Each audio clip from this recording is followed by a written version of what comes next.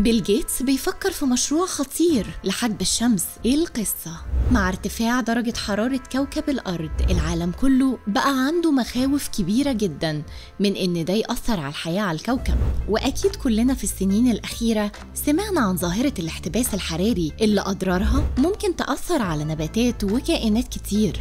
والعالم كله عايش حالة من الخوف والهلع بسبب الظاهرة دي. والملياردير الأمريكي الشهير بيل جيتس لقى الحل وفكر في مشروع خطير جدا عشان يحمي الأرض من أشعة الشمس لكن إيه المشروع ده؟ وإزاي شخص ممكن يتدخل في ظواهر كونية؟ تابعوا الفيديو للنهاية عشان تعرفوا القصة لما تكون شخص غني أكيد بفلوسك هتقدر تعمل حاجات كتير جدا وهتقدر تشتري اللي أنت عايزه في أي وقت لكن اللي عمله الملياردير الأمريكي بيل جيتس فاق كل التوقعات لأنه حاول يتدخل في قوانين الكون ويغيرها عشان يحقق الأمان لكوكب الأرض. بيل جيتس المؤسس المشارك لشركة مايكروسوفت حاليا بيفكر في مشاريع متعلقة بمستقبل كوكب الأرض وحاليا أصبح من الأشخاص المسؤولين عن مستقبل الكوكب لأنه عنده إمكانيات مش موجودة عند أي حد ولو حتى موجودة عند حكومات دول العالم.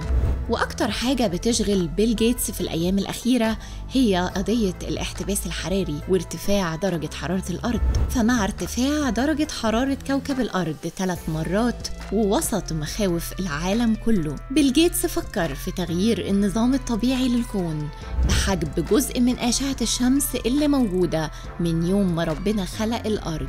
وبما إن الشمس هي المصدر الرئيسي للحرارة على كوكب الأرض فبيل جيتس شايف إن حجب الأشعة بشكل جزئي هيكون مفيد في تقليل درجة الحرارة الواصلة للأرض. وبكده درجة الحرارة هتقل وترجع لطبيعتها والأرض هتسترد التوازن اللي فقدته بسبب ارتفاع درجة الحرارة. الملياردير بيل جيتس حاليا بيمول لأبحاث في تقنيات الهندسة الجيولوجية لبناء تقنيات لتعتيم وحجب الشمس. من خلال عكس أشعتها مرة تانية في الفضاء والتجربة دي هتتعمل في طبقة الاستراتوسفير وهي الطبقة التانية من طبقات الغلاف الجوي. عن طريق رش غبار كالسيوم معين في السماء وهو غبار كربونات الكالسيوم غير السامة.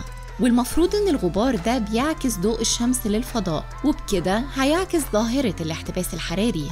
ومشروع الهندسة الجيولوجية الشمسية ممكن يكون هو الحل الأخير لإنقاذ العالم لو البشرية ما نجحتش في وقف تغير المناخ. المشروع ده هيكون عن طريق إطلاق منطاد الطقس على بعد 12 ميل في السماء وهتتعمل التجربة الأولى عشان العلماء يعرفوا الغبار اللي المفروض يحجب أشعة الشمس. هيعمل كده فعلا ولا لأ؟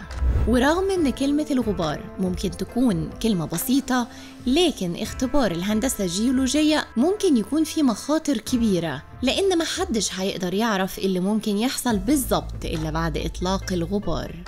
وفي علماء اقترحوا إن الغبار ممكن يساعد في تجديد طبقة الأوزون ورغم إن المشروع ده ممكن يكون ليه مخاطر مش معروفة ورغم إن الخطة أصلا كأنها فيلم خيال علمي لكن في ناس كتير حاطة كل أملها على المشروع ده وناس كتير بتتمنى إنه يقدر ينقذ البشرية من الاحتباس الحراري ومن تغيرات المناخ خاصة بعد ما البشرية فشلت في الحفاظ على الكوكب.